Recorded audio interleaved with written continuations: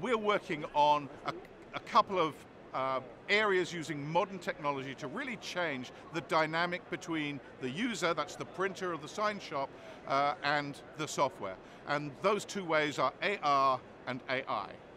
SAI is developing an AR application that's augmented reality, so it's the combination of virtual reality and the real world, so that you'll be able to take your phone, look at a building through the viewer of there, anchor assigned to it, and then walk around the building, climb a tree if you want to, or go up in the building opposite, and just see how your sign is going to look on the building.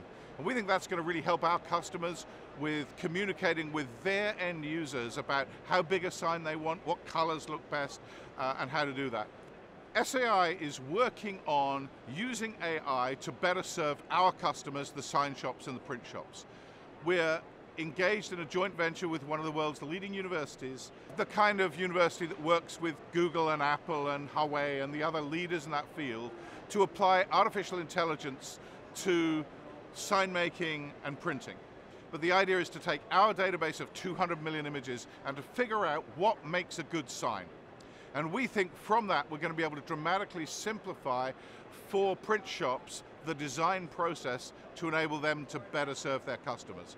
If you're an SAI customer, you'll be able to better serve your end users uh, and we'll be able to better understand who they are from the AI work that's ongoing.